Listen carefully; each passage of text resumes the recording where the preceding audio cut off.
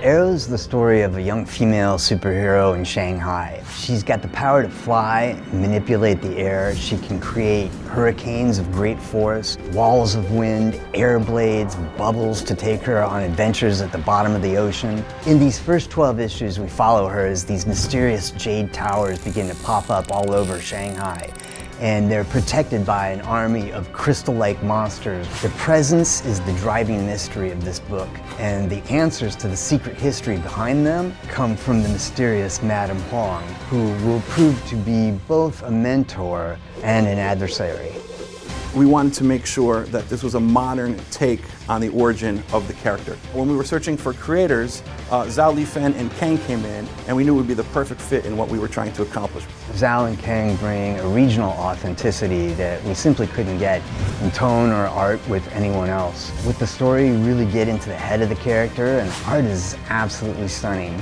In her civilian identity, Aero's a very successful and famous architect.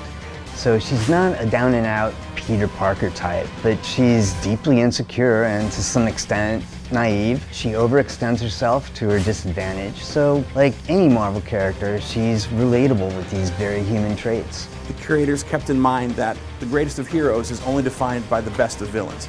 And it's the villains and the powers that they bestowed upon these villains and their intentions, be they evil or not, that force them up against Aero that make this book so exciting. Aero's got beautiful art, a really unique character, some crazy villains, and a story that introduces you to a new and interesting part of the Marvel Universe.